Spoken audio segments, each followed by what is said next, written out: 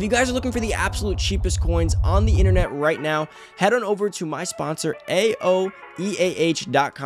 They got the cheapest coins on the market. You can get a million for under 50 bucks. Save that money. Make sure to always use code Poodle at checkout to get your additional 3% off. What's going on, everybody? It's Poodle back with another Madden Ultimate Team video, guys. And today we have our Team of the Week, Week 6 predictions, guys. You know it's Monday. It's that time of the week again. Who performed great on Sunday? Who deserves to get an upgrade? Who deserves to get the top card? Who deserves the LTDs? What past predictions will we make today that could come true?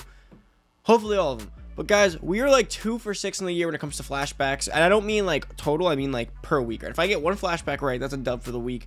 We're two for six, which is actually really good. I think I went like 0 for 17 last year. Um, it's hard. It literally could be any defender or offense guy from any year that don't play anymore, right? That's like 50 years worth or more, right? 60 years. It's not the easiest thing to do. And I've gotten two right already. So that's pretty exciting. Oh, we got Miles Austin right. We got one of like the first week right. And we also should have gotten another one right, but I, I second guessed it last second and I shouldn't have done it.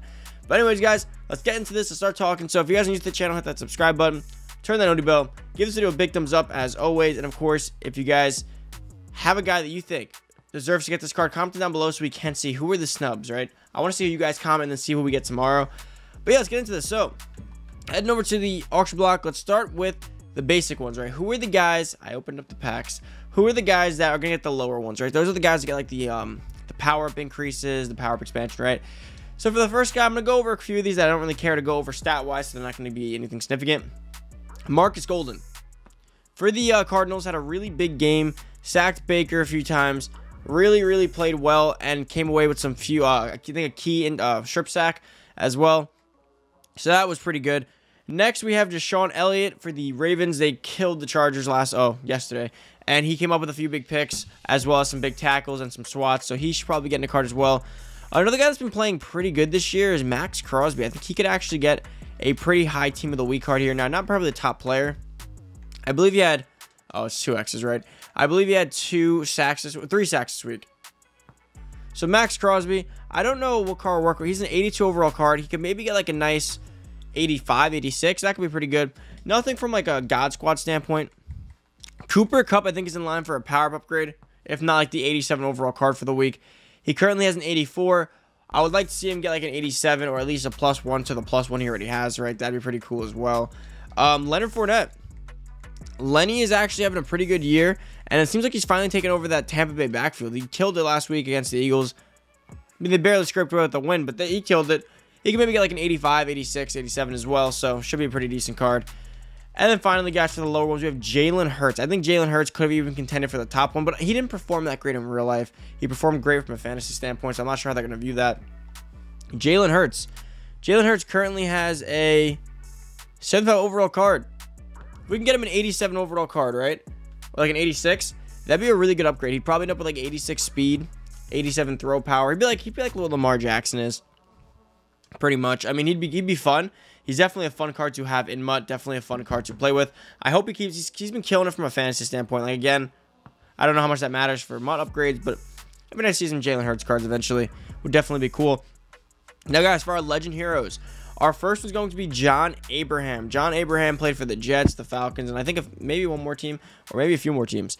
He had three sacks and one forced fumble this date like 10 years ago, right? Like 2012. Had three sacks and a forced fumble. John Abraham's always been like a staple MUT, always been around. Um, usually gets a good card. And again, he's usually a legend, but he also falls right in line with a team of the week upgrade type card.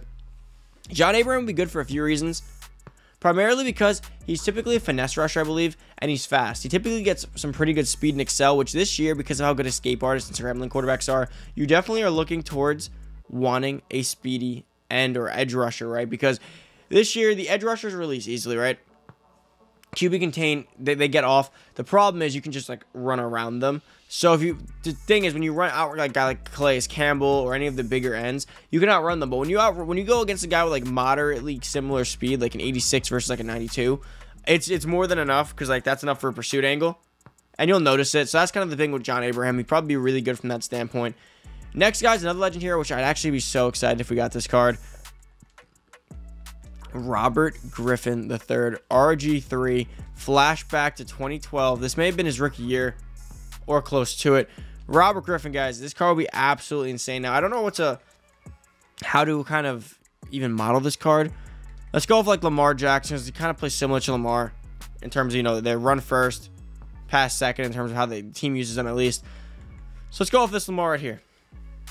RG3 had 138 yards and two touchdowns uh, passing. I mean, sorry, rushing. 138 yards and two touchdowns rushing. He was the top rusher of that week back in his time.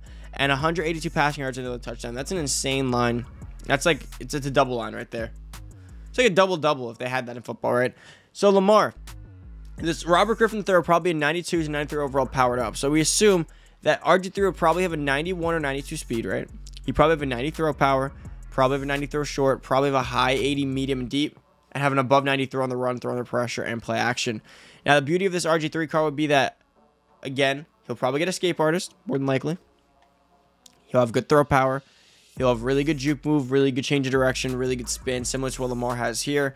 Now, we can hope that if all goes well, an RG3 car would be I know okay, and hopefully they put him they, they put him on put put him in a Washington football jersey, please. Put him in a Washington football jersey. Do not put him in a Ravens jersey. Do not put him anywhere else. I want him in a WFT football jersey. That'd be so cool to see uh, RG3 back in the game. He actually backed up Lamar Jackson for like a year or two the last few years. But uh, otherwise, he'd be good. He'd be a fun card. He's one of my favorite players like ever that I've that I've watched. Right, not like my favorite player of all time, like you know, best football player ever. Like my, one of the ones that I've watched, like he was so electric. I remember watching him in his rookie year when he went out. He went out. He went out in the playoffs, which really sucked. I think it was against the Seahawks. They were gonna win that game too. I'm pretty sure. I don't if I if I remember correctly, they were up like 14 nothing on Russell Wilson or something like that. And RG3 got hit and took a hit and went out for game. And that was like the divisional too. So if they win that game, they go to the conference in which they had a chance to maybe knock off the the Niners. The Niners. I think that was either the Niners went to the went to the bowl. So that would have been that year. Yeah. But nonetheless, guys, exciting. Next, guys, I'm to skip my current hero and stick with my LTD current. This is the LTD player from past years, right? From this week. So, I'm going with Lamar Jackson. That's why I'm staying here because I can go over this card as well. Lamar Jackson had, just like RG3, 152 yards rushing and one touchdown like in 2019 on this week. He was the number one rusher in the NFL that week at quarterback and also had another 236 passing yards, which is crazy. 400 combined yards, including 150 of pass uh, rushing, which is just crazy, and a touchdown.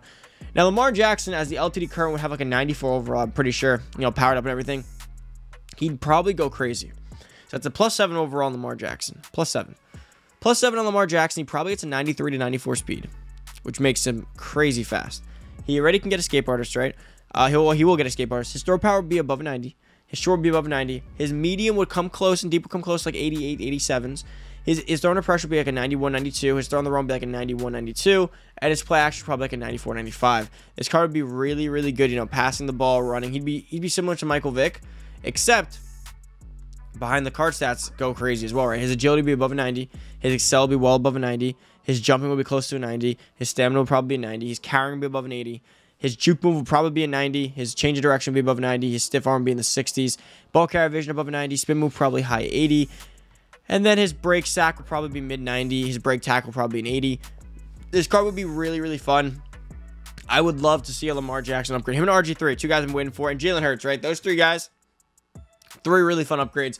And then for the current hero, this is going to be the player from this week uh, that had a good night.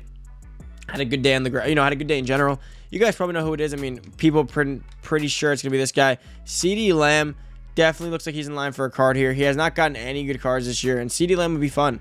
CeeDee Lamb again, 94 overall, powered up and everything. Let's see what he look like. So CeeDee Lamb 94, that would give him a plus 10. That would that would give his speed like a that would make speed like a 94, 95. Which I don't know if they'd give him that, but his speed's definitely gonna be much higher because his team builder is 87, right? It's gotta be decently higher. 94, 95 speed. He'll end up with like close to 90 jumping, close to 90. He'll, he'll end up with close to 90 jumping. He'll probably end up with around 90 catching, 89 catching traffic, 91 spec, and he'll end up with 90 deep, like probably 90 medium, and probably 88 to 89 short. He'd be an insane card. If he gets the stats he's supposed to get based off of this card, because this card looks kind of juice for his overall, he'd be insane. He'd be crazy fast with really good route running and catching. And then behind this card too, right, he'll have above 90 change of direction, like well above 90. He'll have above 90 juke, above 90 spin, close to high 80 stiff arm. Card would be really good. 90 break tackle. This card would be a real, real good wide receiver. But guys, this is about it for the video. Hopefully you guys enjoyed today's predictions. If you guys need the channel, hit that subscribe button. Turn that notification bell. Give this video a big thumbs up. And of course, guys, comment down below who your biggest snub of this week is. Like, who's the guy you think should get it? And we'll know tomorrow if they're the biggest snub if they don't end up getting a card. Thank you for watching. I'm out. Peace.